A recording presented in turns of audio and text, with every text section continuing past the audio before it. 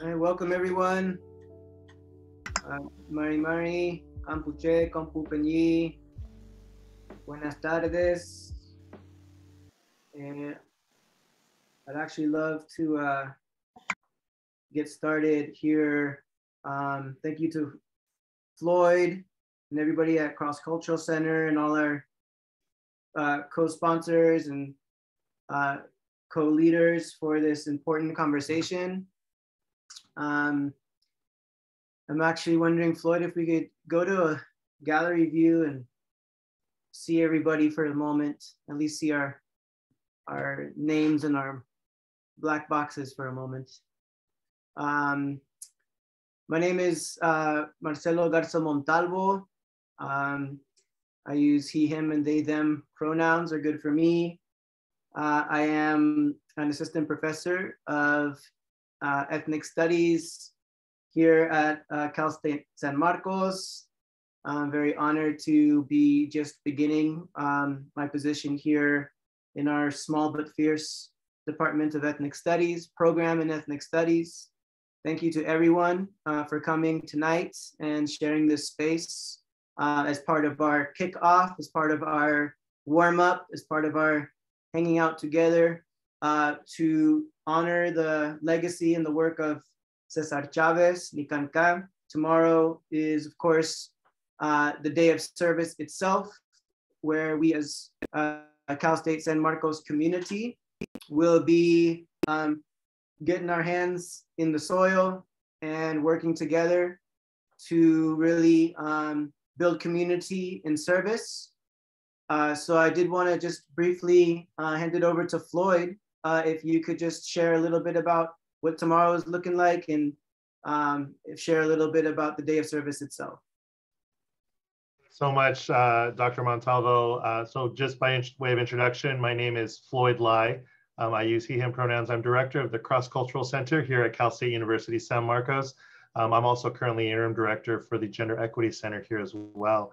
Um, tomorrow's an exciting day. Um, you know, the uh, Cesar Chavez Day of Service um, has been uh, on our campus uh, for um, almost 10 years, not quite. Next year will be our 10th year, but this is our ninth year. Um, and really, it's an opportunity uh, for the those in this area to be able to uh, get out into the community um, and to be able to work side by side as volunteers in the spirit of Cesar Chavez. And as we'll probably hear as well, uh, many, many others, right, um, that are part of that legacy and the work that has been done. Um, we have about 200 or so volunteers um, that are going to be signed up and we'll be going out uh, here uh, to uh, a couple of sites and agencies here in North County, San Diego. Um, there's always room for more. So if this is the first you're hearing about it, uh, feel free to come by um, and check in in the morning uh, here at Cal State San Marcos. We're working in collaboration uh, with folks over in Miracosta uh, College as well. And so it'll be a great effort um, uh, for all of us. And then we have some folks in our Temecula campus as well uh, um, up in that area. So if you haven't heard about it, um, stick around, let me know. I'm happy to send you information about it uh, if you're hearing it for the first time, but would love to um, have you join us if you are able. And for those that have already signed up, we look forward to seeing you tomorrow and excited about tonight and the conversation that we'll have to kind of get us prepared uh, and put us in the frame of mind of what tomorrow really means for all of us. So thank you. Eh, gracias. Thank you, Floyd, uh, for your work and for all your uh, behind the scenes uh, solidarity. And thanks to all the organizers to uh, there's an awesome beautiful community of uh, folks who have come together from across campus to really make this all happen. So i just want to give thanks and acknowledge that whole circle um, and those uh, sponsors are listed on the website. And uh, all the organizers have really put in all their little pieces to make a really big day of service happen. So um, we're honored to be a part of it uh, I want us to get started uh, with some acknowledgements. Uh, the first uh, acknowledgement is for here to acknowledge and give thanks and root us in the land. Um, we're here in Payómkawichum territory, um, but I invite anybody in the chat uh, to share any other territories upon which uh, you find yourself, which you live in relation to, um, any place names if we know the indigenous place names and indigenous peoples if we are not native to that place, it is important to acknowledge uh, this as um, an ongoing um, occupation of stolen land. So I'd like to begin with the words from our Luiseño Payómkawichum relatives and uh, colleagues in American Indian Studies and students who developed our land acknowledgement for campus, which says, we acknowledge that the land on which we gather is the traditional territory of the Luiseño Payómkawichum people. Cal State San Marcos and its surrounding areas are still home to six federally, federally recognized tribes of La Jolla, Pala, Pauma, Pechanga, Rincon, Soboba, Luiseño, Payam Kawuchum people. It is also important to acknowledge that this land remains the shared space among the Cupeño and Kumeyaay and Ipai peoples. So I would also be dropping in the chat the link to uh, the website that includes a really important video put together by our American Indian relatives, uh, students, staff, and faculty, uh, as well as links to some of the ways to support tribal sovereignty here uh, and move this land acknowledgement into action to work with our California Native relatives. Um, I would also like to begin by, um, in the spirit of the United Farm Workers, um, acknowledging uh, the workers who are currently in the fields. I would like to begin by acknowledging um, and giving thanks for farm workers today uh, who are working. And if any of us ate food today, we have to give thanks to a farm worker and to farmers.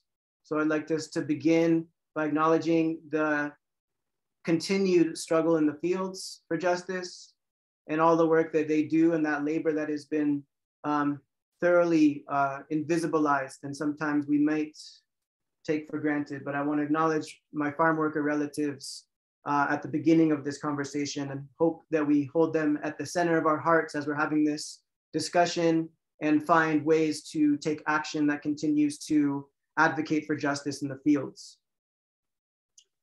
Uh, the last acknowledgement I'd like to um, ask for us to think about um, is just to acknowledge uh, the spirit of Cesar Chavez. What I mean by that is him as an ancestor. And by way of acknowledging the presence of Cesar Chavez continuing to organize us from the other side, I want us to acknowledge all the ancestors that have uh, brought us together today. And I would like us to acknowledge the many other um, unnamed, maybe names we will never know, of those ancestors who struggled for us to be here today and who also breathed life into our social movements and breathed life into the United Farm Workers in particular. That we understand today our conversation about the spirit of Cesar Chavez is with all due respect to him and all his relations, right? All his relatives that created a beautiful, powerful, strong social movement that we still look to uh, many years later um, and is a continuing um, union and struggle. So with that, uh, I just want to um, uh, briefly introduce our uh, distinguished guests we have with us today. Um, again, my name is Mar Dr. Marcelo Garzo Montalvo. I'm an assistant professor of ethnic studies uh, here.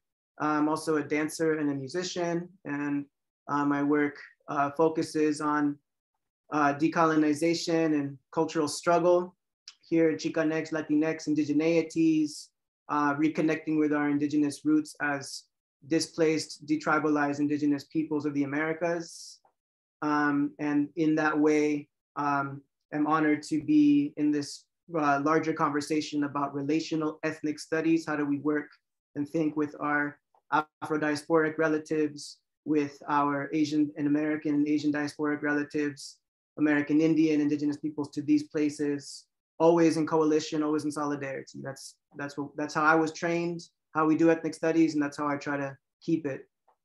Um, and uh, to by way of introduction for our other uh, two distinguished guests today, um, I want to start by introducing uh, Vicky Wong. And I had all everything all lined up, and now, of course, now it's gone. Here we go. Vicky Wong uh, grew up working in the fields of Salinas, California, the so-called salad bowl of the world. When she was 12, she applied to the Student Nonviolent Coordinating Committee in Atlanta, Georgia, as she wanted to join the freedom fighters down south in their more militant civil rights struggle.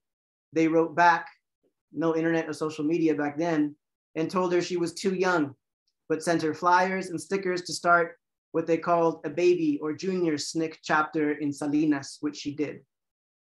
Along with her co uh, onion bunching worker friends, Lillian Fabros Bando, she founded the Salinas chapter of the United Farm Workers Union. Throughout her junior high and high school years, she always uh, she also was also active in the anti-war and draft resistance movement, forming Salinas Vietnam Summer and campaigned for peace and freedom candidates, even though she was too young to vote. Excited by the 1964 free speech movement at UC Berkeley, uh, Vicky only applied there for college and was lucky enough to get accepted on a partial scholarship and grants. One night in May 1968, her life in between the black and white world was liberated when she came, became part of one of the founding six of the Asian American Political Alliance in a small apartment in 2000, at 2005 Hearst Avenue, Berkeley, California. There's now a commemorative plaque there. Vicky then went on to co-found the first Asian American publication, the APA newsletter. Through APA, she co-founded the Third World Liberation Front, that led to the Third World Strike at UC Berkeley for the entire winter quarter 1969, which established the Ethnic Studies Department, including Asian American Studies, the first ethnic studies program in the world.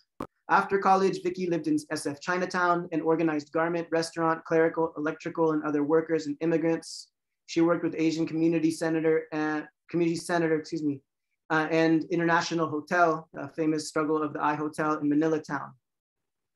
She was elected manager of the Chinatown Co-op, the first garment workers uh, owned cooperative in the world, and was an editor and reporter for various publications, including the bilingual Wei Min Bao, Pacific Imperialism Notebook, and Pacific Basin Reports, which published uh, her booklet, The Global Struggle for Oil. Vicky was also co-authored What Have Women Done? Chinese Working People in Americas, The a Pictorial History, and Stand Up, an archive collection of the Bay Area Asian American Movement 1968 to 1974. I highly recommend checking out all of these publications. Uh, so let's give thanks and welcome Vicky. Thank you so much for joining us. OG, Veterana, Veteranix. And I'm also honored to uh, introduce Julio Somos Juan uh, Kanobi Magana, a master's in education, AKA Somos One, is a poet, rapper, co-founder of the Chicanx rap collective Brown Buffalo. If you haven't checked out Brown Buffalo, check out their work. Lifelong middle school, high school educator, and a cultural worker and a community builder. He is grandson and third son to original United Farm Workers strikers and organizers.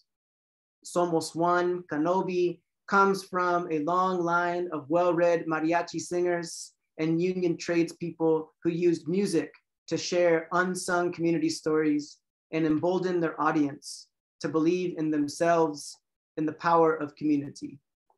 So with that, can we please also give it up and give thanks and give Zoom claps and all the reactions to our uh, distinguished um, uh, guests here. Uh, so in that way, um, the first question, just to, to our, for our panelists to open up uh, the conversation, is really we're here. I want us to start with this question of um, what do we see, right, um, as uh, actually, a, sorry, I'm totally just got my tabs uh, mixed up here. Here we go. Uh, so I just want you to actually share uh, we heard a little bit of your background in the bio. If you just share a little bit of your background, your connections um, to the struggle in the fields, to the realities of the agricultural valleys of California. Um, and if we can start with you, uh, Vicky, first, if you just want to speak a little bit to some of the pieces you want to hold up um, that uh, from your uh, over 50 years, 60 years of organizing in the fields. Um, if you could just share some of what are some of the pieces you want to share with folks today um, that you see are important lessons from those struggles.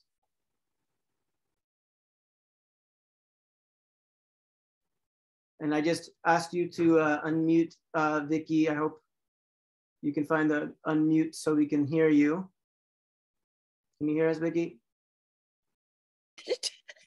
See, that's why I'm an OG here. yes. Call Salinas now the ag tech capital of.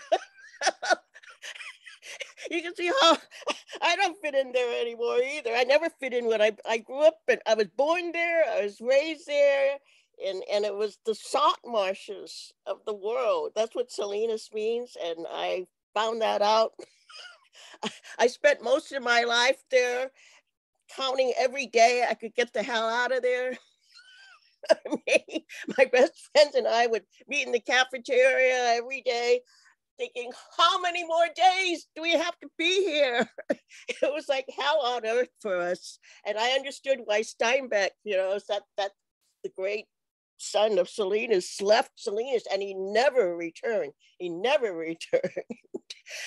I could not even read. This is the difference.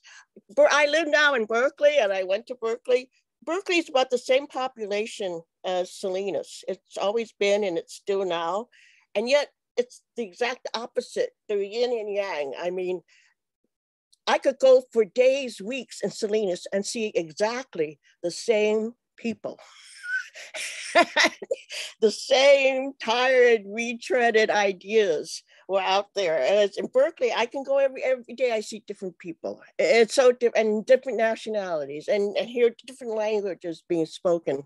Because when I grew up in Salinas, there weren't that many uh, Chicanos or Latinos. It was mainly. Uh, I grew up not even in Salinas. Actually, I should correct that because they would not even want to claim me there. I grew up in El Alisal, which is outside of Salinas, and it, they Salinas didn't want us, so we were an unincorporated area of Salinas. You know, there weren't even sidewalks, and I had to take, I had to walk along uh, about a mile just to get to the bus stop to go to school, catch the bus to school. I mean, and it was the, the place where most of the uh, Depression era uh, so-called Okies, you know, during the Great Depression, uh, walked left. And so there were a lot of poor whites there. And I, I went to school and my brothers and I and my sisters and I went to school every day to the, the uh, Ching Chong Chinaman uh, chants of, of the stupid, ignorant uh, whites who lived there and didn't know any better. And this was my world. I thought, man, I cannot live in this place. We could not even buy it. I didn't know who John Steinbeck was because his books were banned in Salinas at the time. This is how reactionary and conservative it was. And it's so such, you know, when I go back there now and I see John Steinbeck Library and Museum and John Steinbeck, you know, restaurant and every mortuary. I mean, he, he was forbidden. We couldn't read about him. It was such a reactionary town that the John Birch Society, which is the political wing, uh, the more uh, acceptable wing of the KKK, their library was right next to our main library. So I would pass there every day to go to our, our library. And this is, anyway, just to make this, this is why, I mean, Salinas in itself was so dominated by the agriculture business. It was the military industrial complex that Eisenhower even talked about back then because Fort Ord at the time was very only about 20 minutes away in Seaside. And that was the largest army base in the country at the time. So we were dominated by the agribusiness and then by the military because that was the next big employer after uh, all the corporate farmers. And then you had the healthcare industry, which was all tied in also to uh, the big agribusiness. So everything was controlled by them. It was uh, completely white dominated in, in every, you know, the top jobs, the top um, anybody uh, in gov city government, and, and uh, Salinas was the biggest city in, in Monterey County, so it was also uh, the county seat, And we had soldiers coming in every weekend from Fort Ord. And there was also the Department of Defense to this day still sends all their intelligence training officers. One of my best friend, Lillian Fabros, her brother, Alex at the time, who was real gung ho for the war. And uh, he signed up to uh, become an intelligence agent and they trained him to interrogate uh, prisoners caught during the Vietnam War, and he learned Japanese, Chinese, Mandarin, um, Vietnamese, and he also his native Tagalog uh, there. And so we had the Department of Defense there, we had the Army base, we had uh, another Army base at Monterey, and uh, their presence was constantly about uh, throughout, you know, uh, growing up in Salinas, everything was, so many things were banned. And, and if you wrote anything in the paper in the Salinas, California, you had to print your name and address and phone number. So I wrote many letters and I got threatened all the time, but being young at the time, I wasn't really scared because I didn't really understand what was, you know, what could happen to me at the time. But anyway, that that was just kind of the life of growing up in, in a really reactionary town. And when later I wanted to understand the economics of imperialism and capitalism, I, I struggled through three volumes of Das Kapital by Marx. and the one thing I did understand when I struggling to stay asleep was rural idiocy. When he described rural idiocy that was Salinas. I understood that what he meant because all those people who were romanticizing, especially that time during the hippie era and everything, you know, going oh the idyllic country life, or when you see it in the movies, but growing up in, a, an idyllic country setting, that uh, well, I was it. I was in the the cellar boat of the world. I was in the world's capital of fresh produce and fruits, and it still is today it's the world's capital of most of the food that you eat.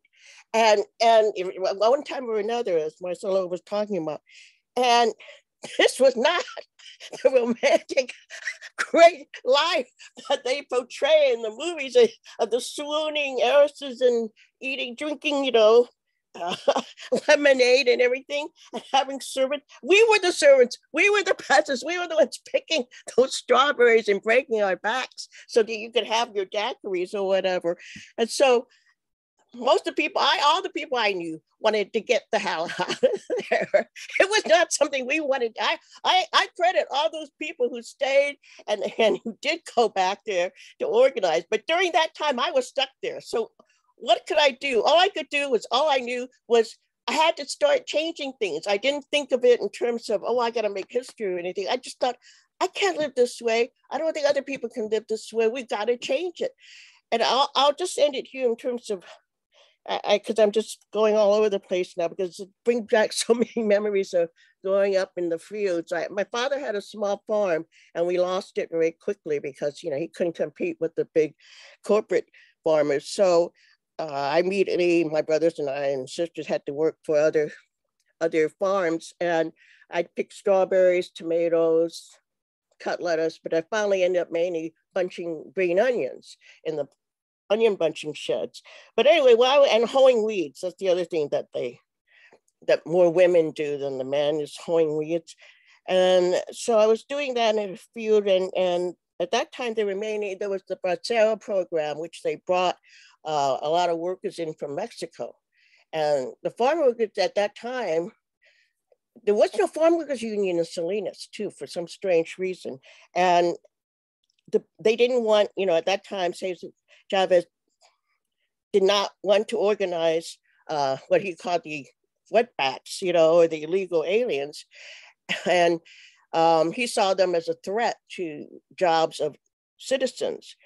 And yet I always had, you know, they tried to separate us from, but once you're in the fields, it's kind of hard to do that. I mean, they had captains around kind of patrolling us. But anyway, one day it was a really hard day because you had to bend your back down. The strawberries is, is the worst thing to pick because you have to bend down so low to pick them. And it must have shown because I was about like I don't know, 11 or 12 at the time. And one Bracero worker came up to me and he presented me with a bouquet of weeds. And I know some other people would think, oh, you know, is he trying to be fresh or whatever? Is this creepy? No, to me, it was the sweetest, sweetest gesture I'd ever had because he just wanted to bring some brightness to my life. And it was a very, you know, totally innocent and wonderful and beautiful moment. And I'll never forget. And I thought, I don't know, I thought of this when I saw Marcelo's question about what does solidarity mean to you? And that kind of came to me because more than even like the angst and like it's behind me of the fighting and picket lines and, and all that, which you know I've done plenty of. The, the act of not just kindness, but okay, here's the here's a memorable quote from Steinbeck. He said, "I've looked at many people. I think I said I I, I wonder how many people I've looked at uh, all my life, and I've never seen them." And that's what I feel like we we who start we who call ourselves activists or give a voice to those people look at all the time but never see the invisible people because that's how I felt for such a long time. And also not be and being growing up into this black and white world of the in-betweens. And I think a lot of you understand that where you're not black and you're not white. And even though I was involved heavily in the movement for years, I never had a place. I was always either a white supporter or a black supporter.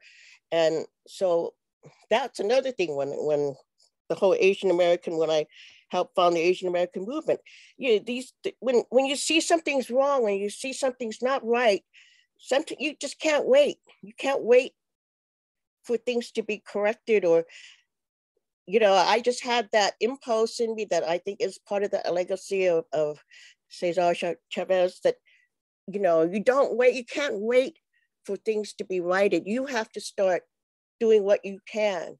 And to me, that getting that bouquet of weeds from the Bracero worker was a start in that because what was behind it was that spirit of solidarity of what a real civilized society should be like and so I'm just going to end that here right now because I, am going over tangents. I really want to hear what everybody else has to say.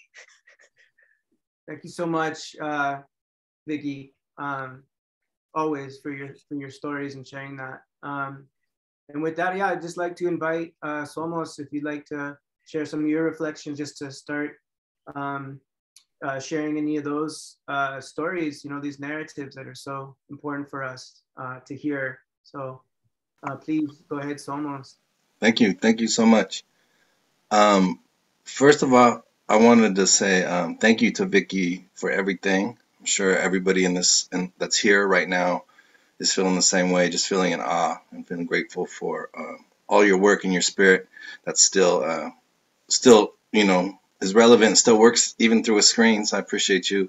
Um, I'm, I'm, greeting you all from Carquin, uh, Carquinez, Ohlone land, which is like north of Richmond, still in the Bay Area.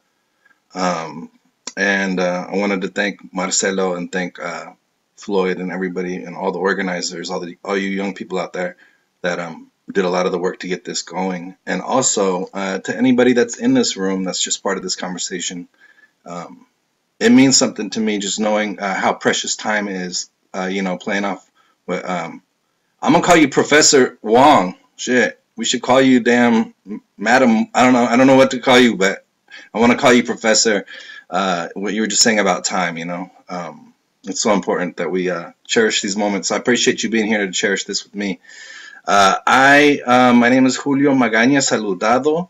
Uh, you know, folks in the in the rap world and like this art world that I'm part of. I'm blessed to be part of. Circle call me uh, Somos or Somos One. Um, and I was born in Delano, California, but I would like to start uh, speaking on farm farm worker. This this question of my my my feelings about farm workers. I, I just wanted to share that my family um, on my mother's side is from northern Jalisco, It's near Aguascalientes, and it's a small, uh, as as Mar- Dr. Marcelo just said, you know, a, a D, um, what, what was the word you used? Like uh, de-indigenized uh, Indian population, right? So my mom's pueblo were uh, segregated from the white part of their town, which was called uh, Teocaltiche.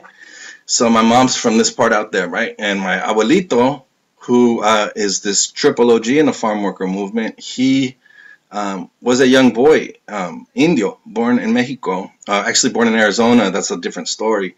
But um, but he's originally an indigenous. Our family's indigenous to northern uh, Jalisco, and um, they've always loved working the land. And I know that the the politics and everything and the disgusting structure that we live in, uh, it makes it so like almost unbearable to look at, you know, and it's hard to see, right? You drive down the five and you see the state in which people work. It's it's it's dehumanizing. It, it hurts to, to watch it, you know. But my I wanted to say that um I've always I'm grateful that my abuelito always instilled in us um, a profound love for the earth and love for um, nurturing the land and cultivating the land. You know, so if you go to any of my mom's families, and actually a lot of my dad's family too, but mostly my mom's family, like everybody's house is just popping with flowers right now, you know, or popping with all these fruit trees in the backyard.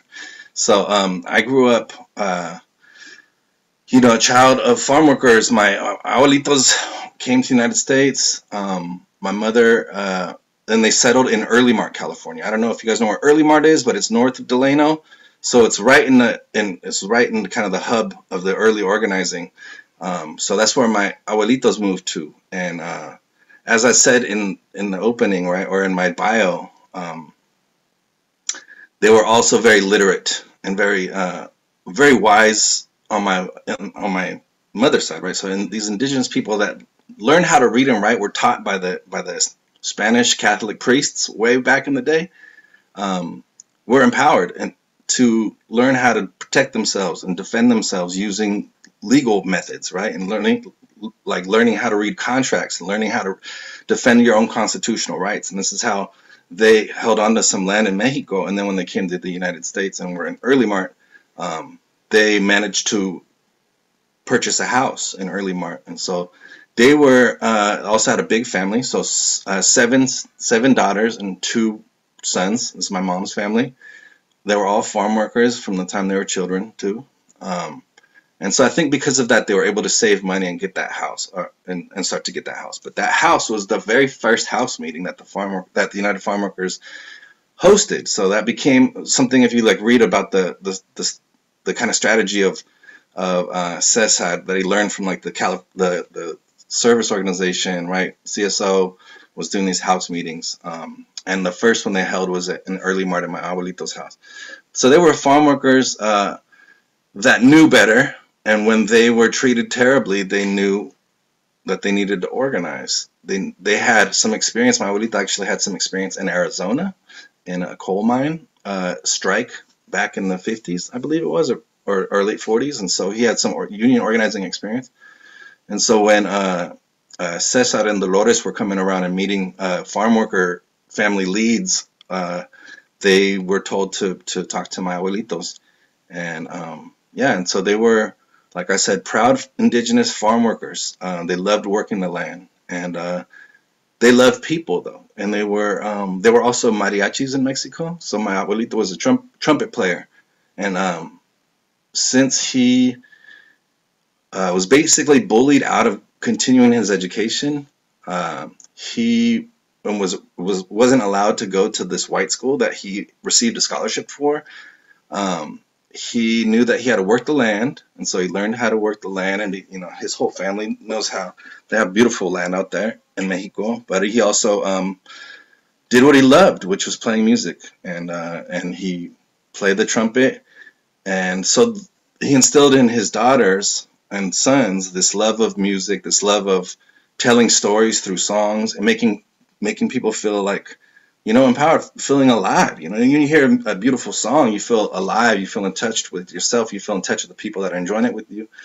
And so he instilled that in his daughters. And so my mother was one of the um, original strikers who her and her, my tia Tonya, um, or some of the early strikers that became organizers who uh, then went on to places like Chicago, New York, and stuff, and, and sang songs uh, in those towns to kind of rally the troops. And so um, I come from this this interesting blend of very proud, uh, you know, plant cultivators, um, harvest, you know, harvesters of the earth, and uh, a love of people and community and bringing people together. They're very proud and faithful um, Catholics too, you know, very Guadalupano style. So, um, yeah, I come from that that background. So my my relationship with the farm work with farm work itself is through hearing those stories um, and through working the land with my abuelitos. You know, just working uh, out in our yards and just learning some of these uh, techniques and just how to keep the you know. So if you were to come up to my house right now, you would see this beautiful yard that's you know still carries that legacy of uh, of working the land. And then um, in terms of uh, yeah, uh, as a sophomore at UC Berkeley, so go Bears. I guess we could say that now, even though I've like organized against the university so often uh, as well. Go TWLF because I was TWLF 99. Um, so, uh, but you know, when I was a student at UC Berkeley, I spent every summer doing a different kind of. Um, uh, I, I, did this thing called Union Summer, which was through the AFL-CIO, and they trained young people to be union organizers, field organizers. And so I went through that that training program uh, a couple summers in a row. So I worked in Watsonville. So shout out to uh, Maria uh, out there in Watson. Um, I lived in Las Lomas and, uh, and and and worked out there with the farm working community out there. Um, and then, um, yeah, so I, I, have some experience organizing in the fields, but, you know, uh, yeah, I'm just a proud descendant of, of uh, land cultivators. So thank you for having me. I feel very honored to be here. Thank you for your attention. We're, uh, we're so honored to have both you all here and everybody in this space, right, to have this, this conversation. And thank you for sharing your stories and, you know, uh, presencing your ancestors, your families, your lineages, your, and you know, um, those are all uh, just precious, you know, for us to to learn uh, together. Um, I and with that, I kind of want to just ask um, another question of you two, and just for uh, the rest of folks here, um, I'm going to ask another question, and then please think of and or if you'd like as we're going you're more than welcome to ask your questions. And actually very encouraged the panelists both really want to hear from you all who are here. Um, but we're here to have this hold this space. But if you want to put in the chat any questions you might have um, please do not hesitate uh, to do that um, and we'll make sure to uh, to get to those as much as we can um, so let's see if i can get us in a panel style so this will work Ooh, look at my the Zoom skills. Let's see if they're working. Hey, okay, aquí estamos. Uh, so another question I have for us then is, um, I'll make it a, a two-parter because uh, Vicky already started getting there, and I think in a, in a really beautiful way. So um, oh, I to Cool, thank you. Uh, so what we're gonna ask. And then from the moment I went from the trails, I want. I'm gonna mute this. There's somebody here who's coming in with some sound. All right. Um, the next question that I have for folks is, uh, you already, Vicky, you were already starting to um, share uh, a really, I think, powerful and beautiful story of what solidarity looks like, right? So I want to reiterate that question, like what is um, this question of the spirit of solidarity? What does that look like? And I want to amend that with amend that with what um, something that we've been in discussion with that uh, you also already mentioned, uh, Vicky, and that I'm glad that my students have brought into my class this semester, uh, which is for whatever reason this year, uh, this viral video of our ancestor Cesar Chavez um, saying explicitly, right, that he does not want undocumented folks uh, in the union, that he um, is speaking powerful words that are understood as being actually against our undocumented relatives in many ways and kind of further a, a criminalizing of, of our undocumented relatives. Um, it is it should be named that that those statements were later he later personally publicly retracted, but nonetheless those words resonate right historically. So I want to take them as an opportunity to ask the question: What does solidarity look like? But also, what are take that as an opportunity to think about what are the ways that what are, are, the other lessons that we can learn from the legacy of Cesar Chavez in a way that um, don't, um, in a way that also, what can we learn from a, in, in a more complex way, in a more um, real way with the, the realities of the, the messiness of, of solidarity, right? Of building solidarity um, and, and organizing. So that's my, my question. Like if we could just speak to this, what does solidarity look like uh, in, in, all, in all its uh, capacities? Maybe we can start with you, Vicky, again. Thank you did. Yeah, I, I meant say also, yeah, I met how I um, helped found it. I, I, was stunned that there was no farm workers union in chapter in Salinas. Uh, I, I, think they began in uh, 62 or so and in, in Delano, right? And I, cause I heard about it again, you know, you have to understand, even without the internet, what we have now with cell phones. I mean, we were, we were like back in the stone age for most of you all. in terms of we we would rely on on you know newspapers. And I you know my parents hardly couldn't afford to buy anything. So we'd have to go to the library to see newspapers from a week ago you know because the only thing we had was the local paper which was you know pretty crappy. And we were one of the last to get a TV so I I just was glued to the the news, you know, because that was like the only other thing I could hear about what was going on in the world. But believe me, back then, I think even it's true at any period, when you really feel strongly about something and you really have to find out, you know, you know, you can't just be the only one. Uh, when you want to change something or you feel something is so rotten, you you, you got to have, there's got to be some other you know, uh, some other person, some something else happening, and because we, we couldn't have gotten to this point without the change and, and, and what little we even heard about history. Um, so you did find out eventually if there was any any new ideas, anything challenging, anything threatening. I mean, just like when I first heard the Beatles, and that I, I think I wrote that in my thing about how I was off to the president of the Beatlemaniacs fan club, and we were considered subversive because they were considered foreigners with long hair, and and hey, you know, you're supposed to like the good old good old boys like the Beach Boys, you know, who looked like they were going to golf lessons or something. I mean, this was, you know, the good old white uh, music, Pat Boone doing Little Richard, you know. I mean, this kind of, and we said, hell no, you know, as soon as we heard the beat, we knew that there was something fresh going on. So, all the movement back then was the whole movement. So, that's that's what I, I do think is, you know, a good part of what. Uh, Chavez realizes that you know he, he did link up to the social movements that was happening at the time and and that was really a big step back then because you know the workers union as great as it was mainly st- stayed in the workplace.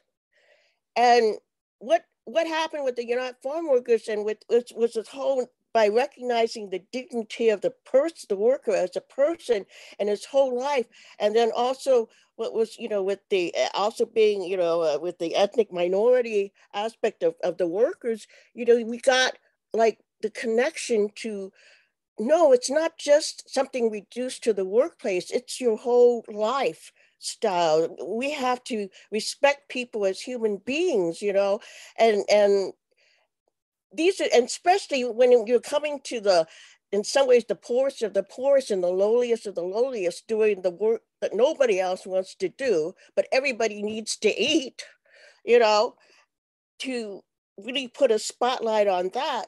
And so that whole, I mean, I, I was very inspired by hearing about what you know, the United Farm Workers were doing. And here I am in the like the sellable of the world, and there's not. So I, I contacted them again by slow mail, and Dolores Huerta answered me back and and so we agreed to meet but she said we have to be careful so we had to go do it secretly we had to meet in the lobby uh, on the stairwell uh, of this the only hotel in Salinas at that time because she didn't want any of the agribusiness to find out that she was in town and that we were meeting and forming a chapter. So it was very clandestine and, and very like, you know, I spyish. And here I am like 11, 12 years old. I, I, I what the hell. And also I was very hampered because my Spanish was is was and, and then and still is very poor. And most of the, the field workers, you were Spanish, although they were, you know, people do. I, I do want to get into that part. There were many Filipinos, yeah, Yemeni, India, and other black, poor white farm workers as well. But the majority were even back then mainly, you know, uh, Hispanic or, or mainly from Mexico at the time. And so it was very difficult for me and my and Lillian, who's Filipino, um, to go and talk to these people because you know our language thing. But still, that didn't deter us. You know, call us stupid or whatever. but we just figured we got to get, hey, we have to organize. I mean, it just makes sense that we've got to do something, you know, because we can't go on living like this. I mean, eh, we got to do something. I mean, they understand that. And, and so we just went ahead and, and tried to do the best we could. And but meanwhile, you know, this is not the only thing. We're doing all these other things. The, the like I said, Fort Ord was around, so we're doing anti-draft work. The Vietnam War was really, you know, getting uh, you know heavier, and so we were against that. And also, I forgot to mention the other big power in the area was the uh, Soledad Prison. That was the other big employment center. So you had that which is also politically extremely conservative. And so most of the money eh, it was going to either, you know, the agribusiness corporations, the um, prison system, and Fort the military, you know. and so it, it was just this this whole the, everything you could think of the of, the worst you know the being in the belly of the beast i felt like i was you know in the belly of the belly of the beast. And it was like you know it's something that we just were constantly getting um, every morning in this i don't know you still have this in school in your high schools but the homeroom class the first class the the principal would come on the bulletin going. Has, it has come to our attention that there were a couple of students walking around wearing buttons saying support the farm workers or boycott grapes. And everybody would turn and look at me and my friends because we were the ones doing this or walking around with uh, putting you know boycott grapes on their binders you know and telling and and passing out signs in this in the cafeteria saying don't eat grapes. And then later I find out, just to get more on the solidarity part of this, and this picture behind me. This is a picture of Filipino, the Filipino uh, labor union. They were the first actually, uh, first ethnic minority to organize a, a, farm workers union in this country in the 30s when farm workers were starting to get organized. And they organized a chapter uh, in Salinas in 1934 and went on strike several times in 1935 and 37. And there were 100, there were over, I think, 1,200 or 1,400 Filipino workers in this union. It was quite large. And they went on strike and, and they struck fear into the hearts of all corporate and, and businesses, even at the multinational business world, because they dared to actually ally themselves with the Mexican Workers Union that was also formed at that time and but separate. So they had an alliance. And later, they were the ones who also um, compelled the United Farm Workers, well, that time I think it was called the National Farm Workers Union, to um, you know join the grape strike because they were on strike first, and later, and also they got other the uh, it was actually the rank and file, it was my understanding and, and how it was at the time, who actually even pressured uh, Cesar Chavez to uh, join the, the Grape Strike with the Filipino Workers Union because, I mean, the Filipino uh, Labor Union, because uh, they wanted to join with them. And so that was unheard of back then, you know? It, it's still even today quite a, a big deal. But it, back then in the 30s, to have different ethnic minorities working, striking against the, one of the most powerful industries in the world, in, in the heart of the uh, food empire. I mean, they did not talk and they did not take kindly to this. So, of course, a group of vigilantes that was unsurprisingly organized and headed by the local sheriff of Salinas uh, ran them out of town by at gunpoint. 800 of the of Filipinos were driven out of Salinas by gunpoint. Now, this isn't this is something I had to learn later through you know establishing the world college is what what you know what ethnic studies is supposed to be for is digging out the truth like this because this was suppressed. I didn't know any of this when i'm growing up in salinas but i find out later hey there had been a farm workers union and they actually uh, won some concessions you know, they they finally were driven out, and and the, due to the harassment and violence and and constant discrimination, most of the workers left the area. And the same thing happened with Chinese, who used to actually own some of the best areas now that Clint Eastwood's, I think, uh, the, the, the restaurant is on, and some other places, posh places, and the golf golfing courses, um, were mainly settled by uh, Asian, Japanese, and Chinese uh, fishermen. And Steinbeck wrote about all of this. Steinbeck tried to expose the corruption and all the, the class uh, domination and the white supremacy in Salinas. That's why he was banned. And to his credit, when the Jap, the Salinas is also one of the main areas that, that lobbied against, uh, it, uh, lobbied for incarcerating Japanese during World War for um, World War II, and even after the war ended, it was Salinas who tried to uh, have a pass a law that Japanese couldn't return. And it was people like Steinbeck, actually, that's one of the brighter shining moments, again, of real solidarity, who said that, you know, that, that this is ridiculous and that we should allow the Japanese to come back after they we already had lost their land and their any possessions they left behind. And so, so every there's a yin and yang here too, because with the oppression, there will always be resistance. And that's happened throughout history. And so again, this is this is why you know what behind me uh, should live on, and it kind of came to the next generation because the other sign it shows us it's like the next generation, and this was I think a couple years ago with uh, Filipinos support Black Lives Matter, and so that's pretty good solidarity right there. I, will I'll, I'll end here and let uh, almost take over now. dropping knowledge. Yeah, for real. Go ahead. Go ahead, Somos.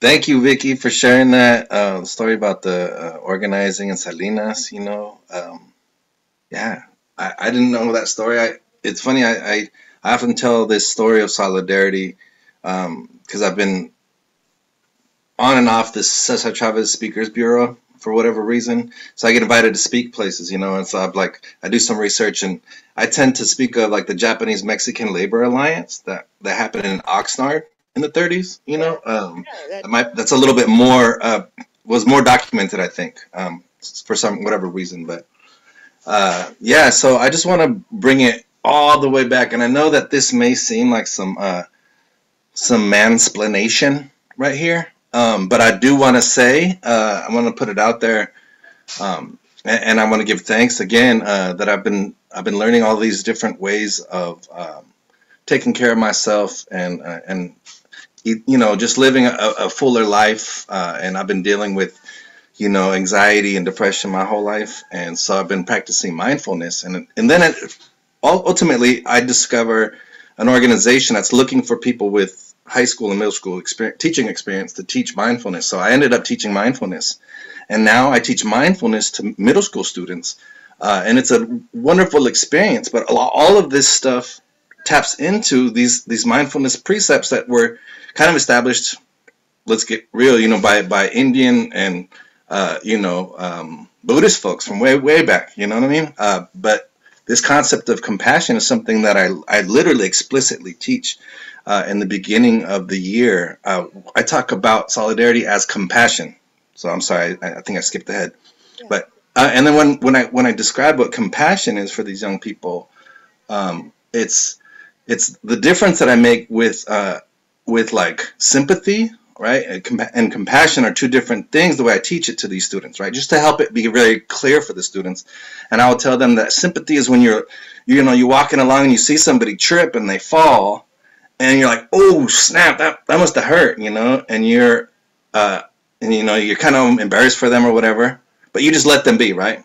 But but compassion is is when you feel for them and then you help them up right? You're you're trying to ease the suffering of somebody else, and uh, so this is how I approach um, this idea of solidarity, right? Is helping to one be in touch with ourselves so that we can feel this, you know, uh, our own pain and, and and live our own lives and learn to be to, to process what we're dealing with, but then to be able to feel that in somebody else, you know, um, is is I think that that the supreme i don't know you know uh, to me that's divinity. That's divine to me you know what i mean? Is when you you care for somebody else. And i've always that's always blown me away that in my family i feel so blessed that my mother's family um, from a long time ago they they did things like selling tamales to raise money to like help other people you know? And like they they they ran these pools and stuff so they can help uh, you know support one another. And so for me this idea that um, that life is not just about protecting yourself and your family, but but your neighbor too.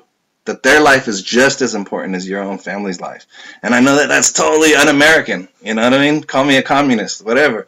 But I think it kind of comes back to that compassion, right? Just and uh, but I, I always like like to just tell remind students that that feeling that you have when you help somebody out, though, you know that that's a sad, a deeper satisfaction than you'll ever get from any kind of paycheck. You know. And I can tell all these folks that are in this room right now, after my 43 years on this planet, uh, that that is is what still fuels me is that feeling of being helpful, being uh, helping to reduce the suffering of myself first and then others. You know, so um, I'm I'm bringing it back, and I know again that might be like mansplaining a little bit, but um, but I also want to just share a couple stories because I think uh, for sure, most definitely, thank you. Um, solidarity stories. Okay, two of them, real cool ones. Try to keep them quick. My mom tells me the story um, that when she was, I believe, in Chicago. Um, so my mom became a, a, a farm worker, uh, an organizer, right? And she was sent out on this school bus. They went out to the the major cities and they dropped off farm workers to organize those cities. And my mom, you know, shows up in chanclas and her huaraches and her dress, you know, and and it was like had the guts to do it, you know. My and my abuelita had the guts to send allow them to go, you know. Um, but they get there and uh, the one of the beautiful stories. They were organizing a picket line in front of like a, um, a, a, grocery store trying to get people to stop to not buy grapes. And um, they're singing uh, uh, I, I, can't I can't remember if it was uh, we shall not we shall not be moved right? Some some like classic six I, I believe that was it. Uh, and, the, and the owner comes out and he's like and my mom was like the point on this picket line right? They they they their job was to bring it to the public, like you said, Vicky, right? They were the internet. They were like, let's let's get this into the people's face, right? And so my mom takes some other farm workers, and they're walking in, in circles in front of this like Safeway, you know, and we shall not, no, no, no, no, nos moverán, singing it. Um, and then uh, the Safeway, the, the the the manager comes out and he's like, I'm sorry, um, but you guys can't sing in front of my store. I need you guys to go. Uh, you're disrupting business. So it's like, please stop singing. So then they start whistling.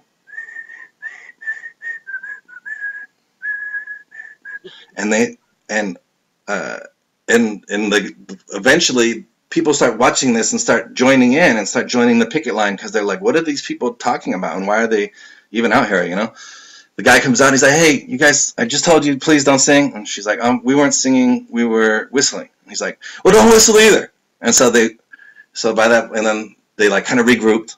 And like, what can we do with it? And my mom's like, I got an idea. So then they just started humming really loud. and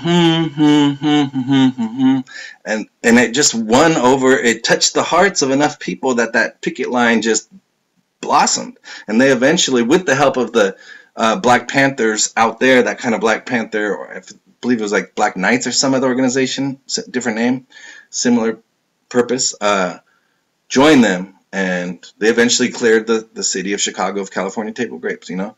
Um, and so that was just one small example. There's another huge example in Oakland. Uh, this is before the grape strike or the grape boycott was even declared. So I want to I want to put this in perspective. People brought up the the um, you know Cesar being like anti-immigrant at that time, right? I, I, I'm going to put this in perspective that they were on strike from 1965 till 1970. That's five fucking years that they didn't have you know income. They didn't and they were trying to hold this group together for five years you know with these farm workers out like living on donations. They got paid five bucks a week my mom and my tias you know to go organize. So they would eat one meal a day.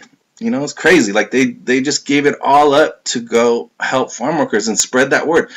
But they did that not just for farm workers either. They did that for all the workers that are invisible, like we were talking about earlier, you know, um, for all invisible workers. And so, uh, but when they, after they went on strike and the word got to the ILWU, which is the International Longshoremen and Workers Union, and uh, which is those folks that unpack giant crates on the side of boats, you know, like giant cargo ships, mostly black folks in Oakland.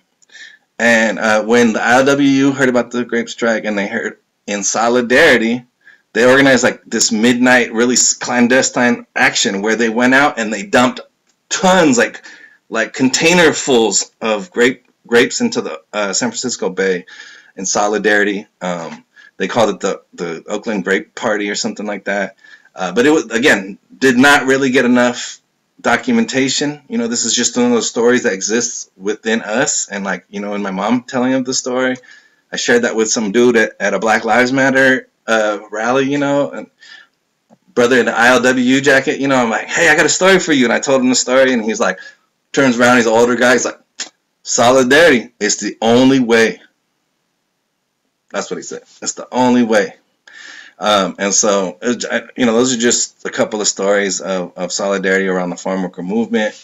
But yeah, I wanted to bring it back to that compassion idea, just for us to remember, um, yeah, to take care of ourselves too. And in this movement, we got to be in it for the long haul, right? Right, Professor Wong? yeah. Yes, yes. Thank you.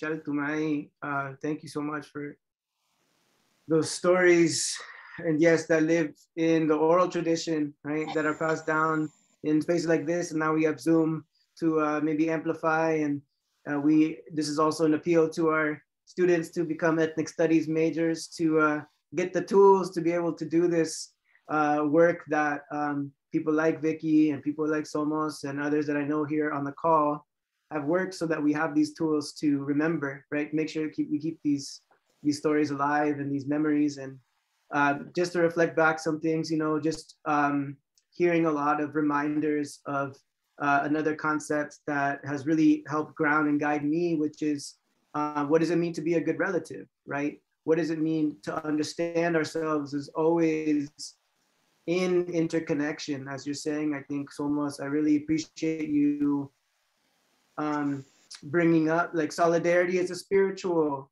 uh, act, right? Solidarity meaning let us act in a way and, and comport and organize in a way that we do understand that we are interconnected, right? That this is, there is um, a sense of, um, of kinship, right? Let's make kin in good ways uh, through this work, right? And so that, um, of course, we're always, uh, uh, this, this, let's just continue to expand and redefine what we understand as solidarity. I think I just really appreciate you all doing that for us.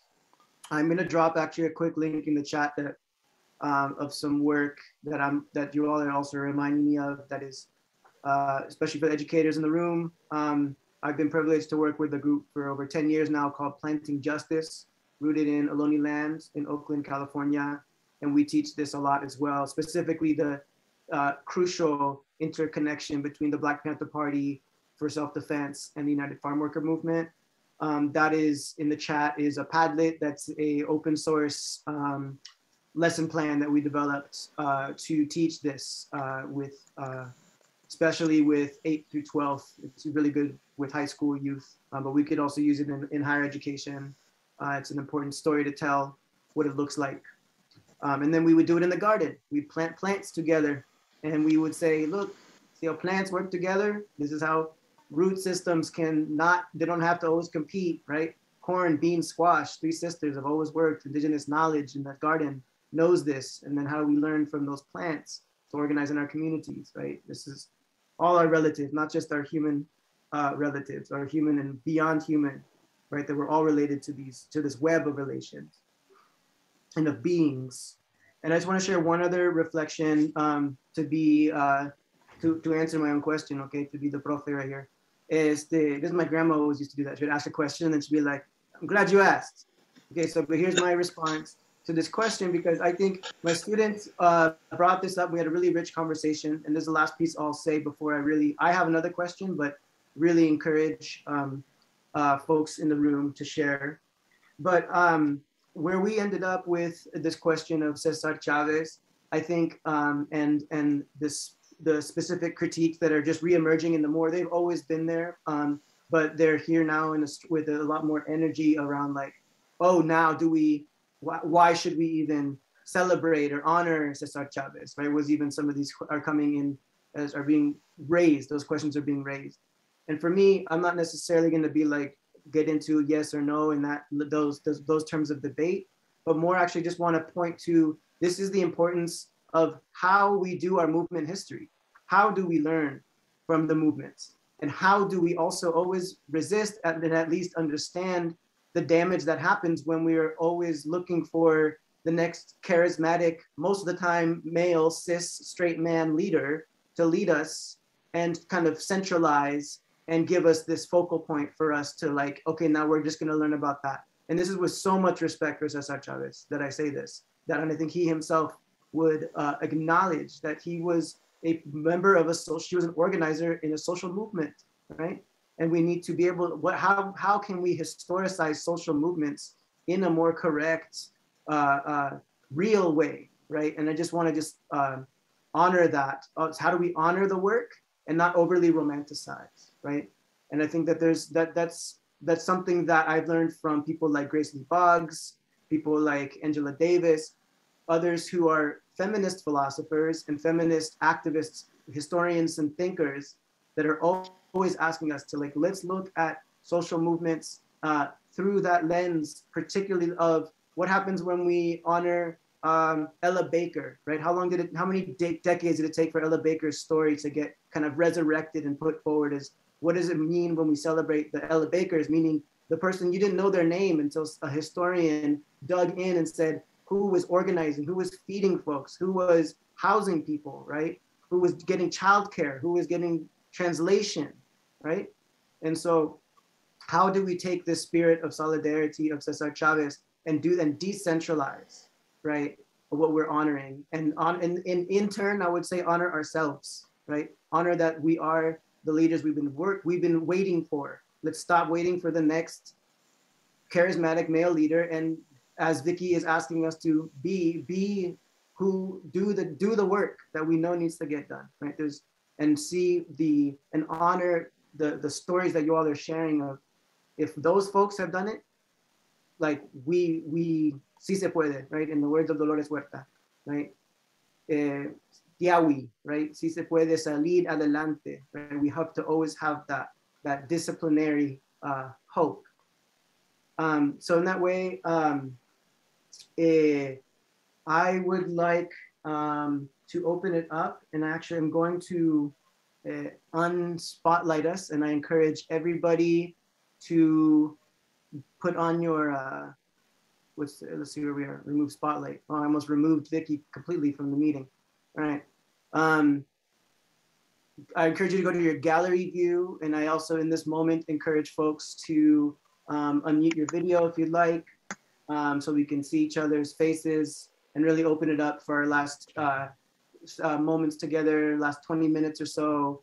Um, if there are any questions, comments, reflections, um, critiques, pushback, we're, we just, uh, we'd love to hear from other folks um, after Vicky and Somos and I have been going for a minute. So anybody uh, has any questions, reflections, please, you can raise your hands uh, in the Zoom Zoom hand or your in the image if you have your camera on. Big shout out to the people putting their cameras on. I know, right? It's, Yeah. It goes a long way. Makes such a difference. Thank you. So yeah, any questions, reflections, comments? Leitos.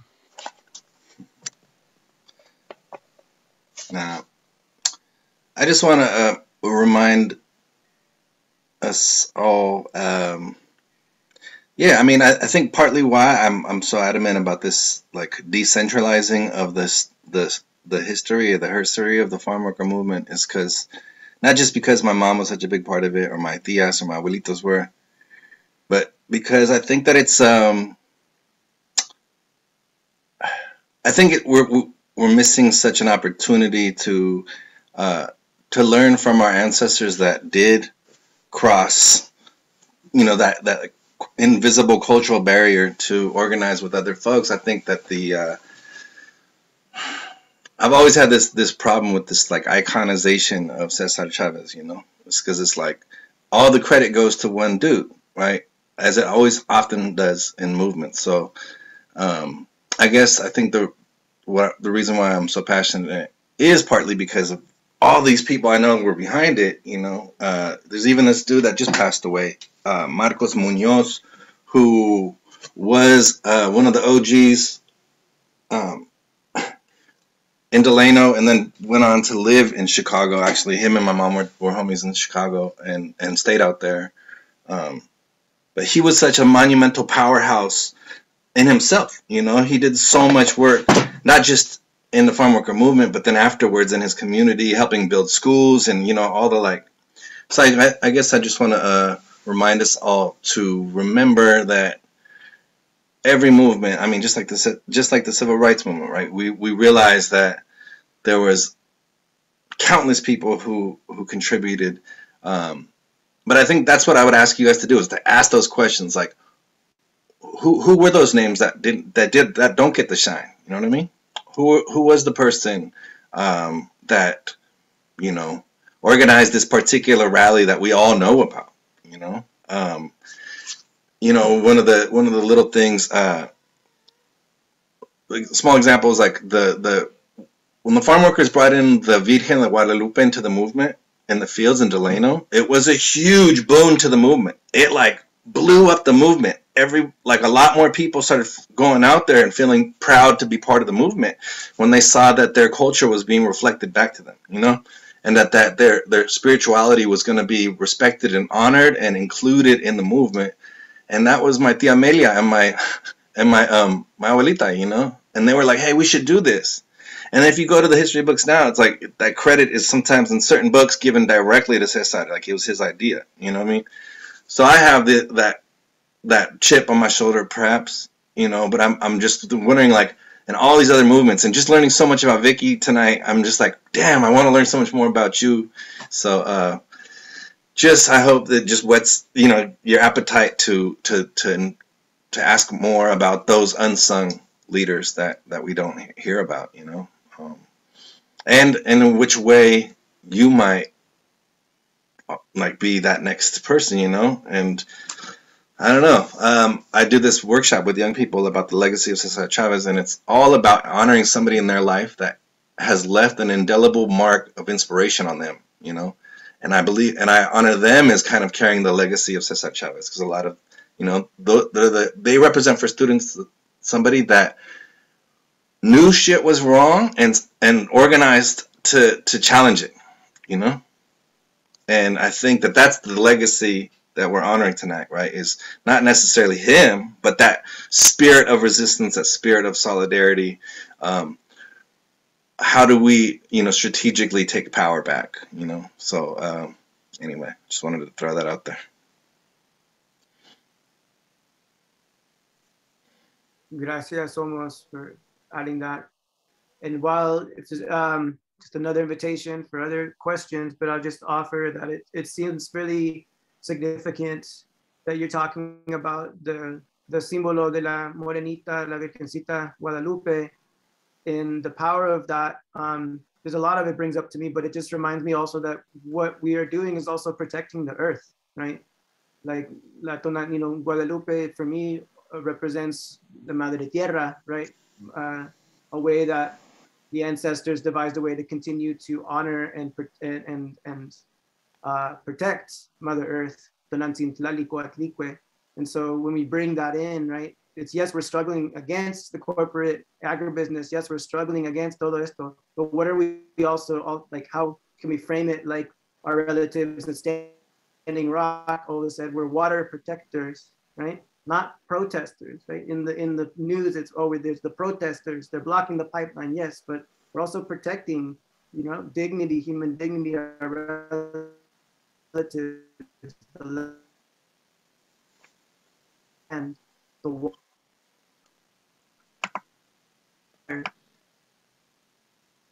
Yeah. Right. Questions at one point I will be asking, no, I'll, I'll say that. Comments, concerns, feedback. We love to hear from other voices. Did I freeze and get off? You got a little. yeah, um, I just wanted to share that.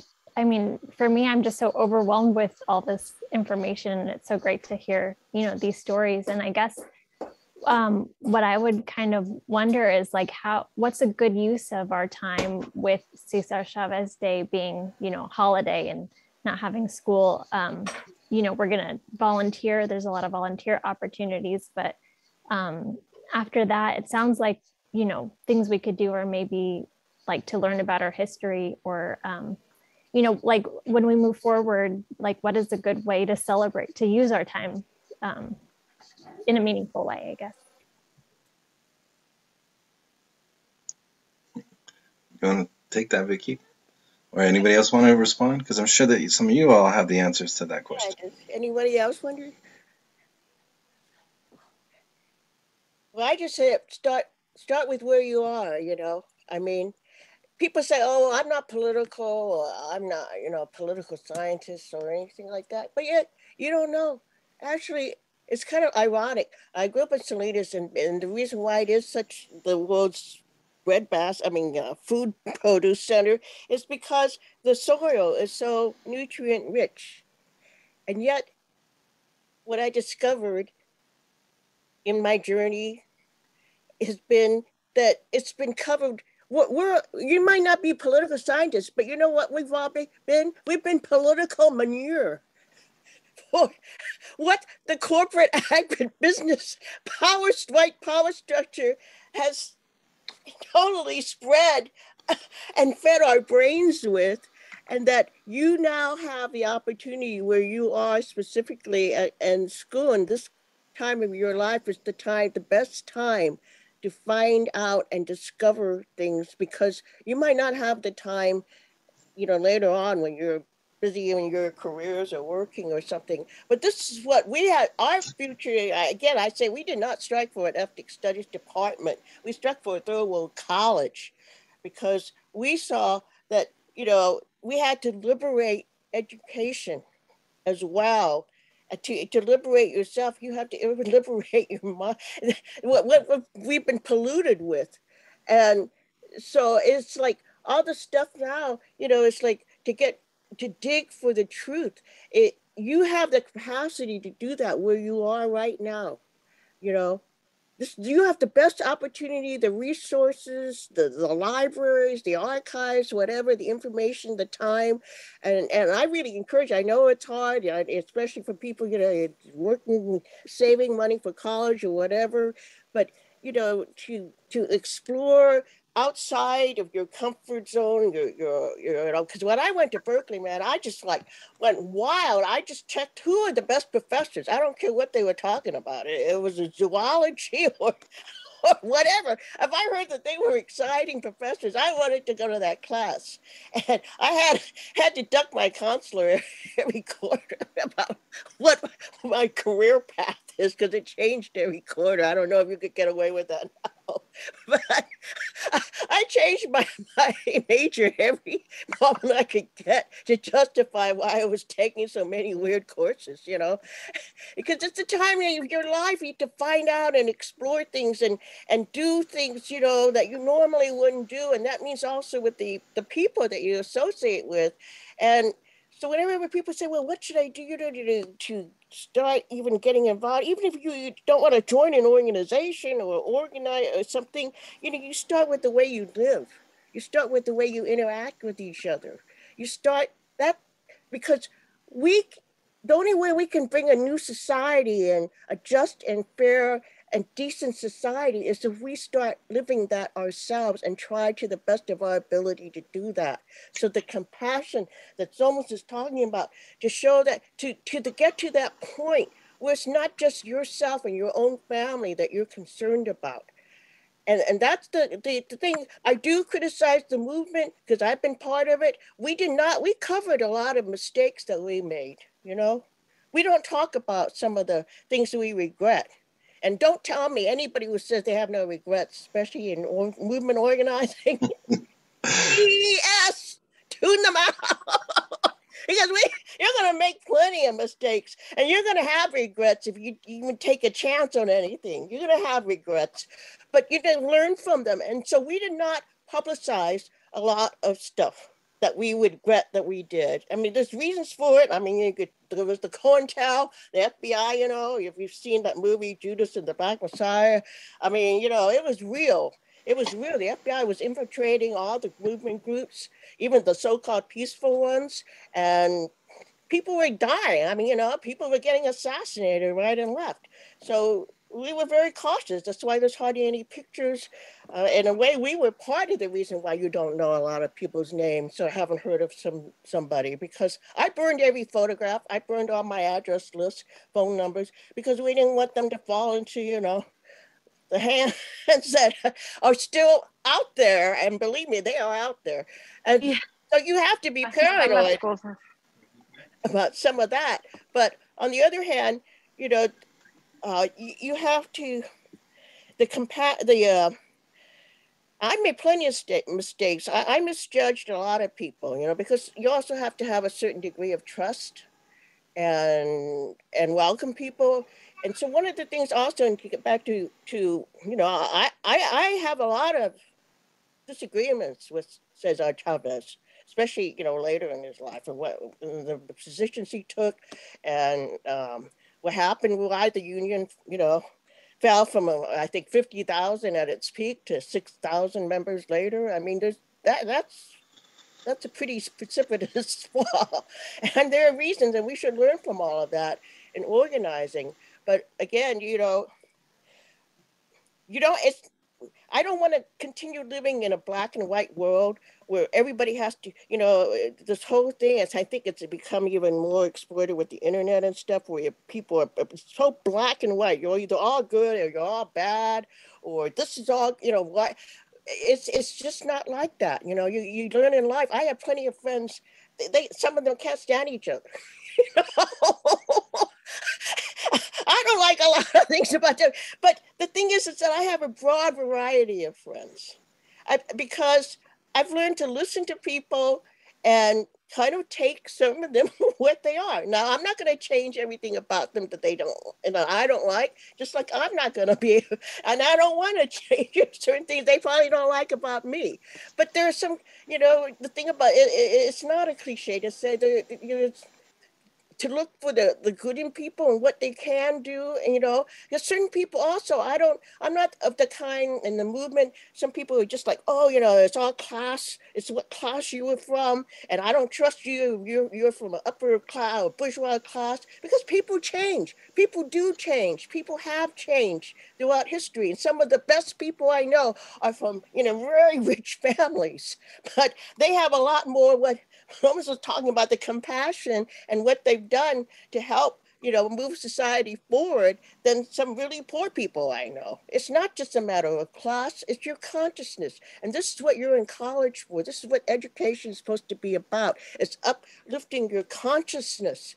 Just like, you know, digging it down. It's all part of, of what, if you're not finding it where you are, then you have to start, you know, use the resources that you have to find out. I, I didn't know certain things. So that's just why I went, you know, certain things weren't happening. So I just said, well, nobody else is doing it.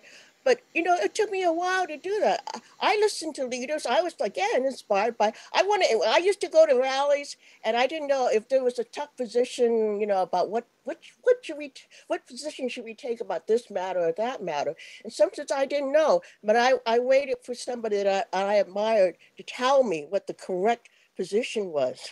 But after being involved in the movement for so long and trying to do things on my own and organizing, organizing, organizing, I was able to finally get to a point where I didn't have to wait for somebody to tell me what the correct position to take was.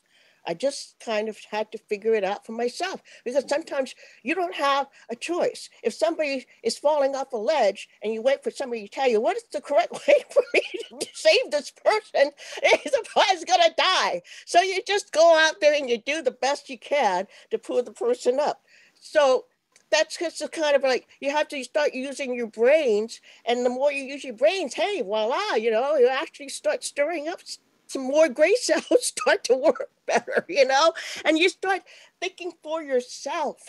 Because don't believe everything I'm saying or Cesar Chavez is saying or Malcolm X is saying. You know, you have to learn how to sort out the good, what makes sense, what's right, what what what you agree with, and what and then you can put the stuff aside. If overall, you know, to me, it, it it's it's we we should honor Cesar Chavez, he, he did a lot. He inspired a lot of people. He fought. He, he, he really did, you know, uh, take a huge step forward. His vision of that the, the, the lowliest, you know, worker could stand up and live in dignity and live be able to put food on his table and not just better his own personal life, but to be, you know, uh, take his place in, in our society as a worthy, contributing human being. You know, that, that that's how farm workers were looked upon, you know, before this. this and that's not how, you know, peasants, and most of us are peasants, you know, really, the majority of the people in the world, it's just like the people who talk about when they go back in time and they are reincarnated. Somehow they always ended up being Cleopatra or the Queen of you know France or something. no, you're gonna end up being a peasant. because most of us are peasants.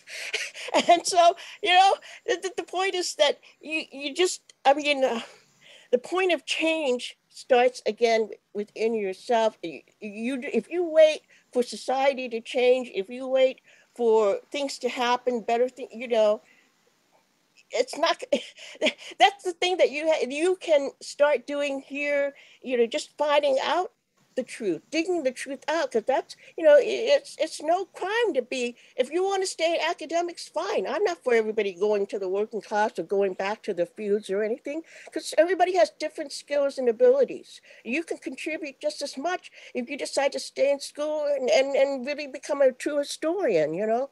So you just have to figure those things out for yourself. But meantime, you know, you, you should be using this time here to do all these kind of things. I also, you know, used uh, became a late musician, and I don't know you read my bio, but I also was in a band, and I took years. Uh, I was traveling with, I toured with Rock Against Racism. You know, I never even considered myself being a singer before, but because it meant something to me, because I felt like I was giving a voice again to people who had not been seen, I could sing.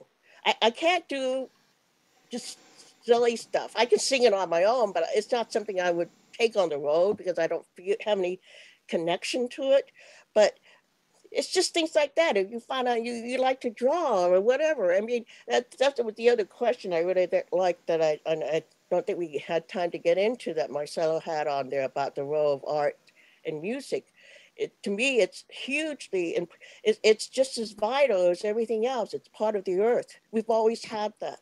And we always, we have to keep paying, even if you can't sing a lick. That was what the group I helped organize, the Mayfor Singers. We had people who couldn't carry a tune but they were singing in it, right? And we actually had gigs all the time while we existed. So because people wanted to hear those stories, I don't know if you read, but the thing about when we went to Santa Cruz and we sang to a group of mainly uh, Chicano uh, kids of farm workers and they didn't want to have anything to do with us. They were mostly in gangs, and they thought we were a square group of these Asians, you know, who looked ridiculous in these white shirts and black pants. I mean, we called ourselves the serendipity singers. I mean, it was like a square folk folk folk song group, and and they were, and the police were there, and it was in this uh, gym in in Santa Cruz, and they were all like, man, you know, what are these? And, and some of the art singers wanted to leave because they thought nobody's going to listen to us. So I said, hey, just, just keep singing, just keep singing. And so we started singing these songs. Oh, you know, it's not nice to block the, it's not nice to go to jail. and it was just like, oh my God. And then suddenly we start thinking about, well, you know, mom had to work late at night in the fields and, and she's sewing and my, my dad never gets home and, and I don't you know how to ever see my parents. And you know, the songs were I'm going to win the Nobel Prize for Literature. But I mean, they were the first time that most people had heard, the, especially these kids, had heard anybody singing about their lives. And by the end of the show, we was just surrounded by all the kids. How can we can we start? How did you guys start? Because this is what you. This is you know, just by doing that. And we, again, we were not really good singers either. and the songs are corny as hell, but it struck a nerve.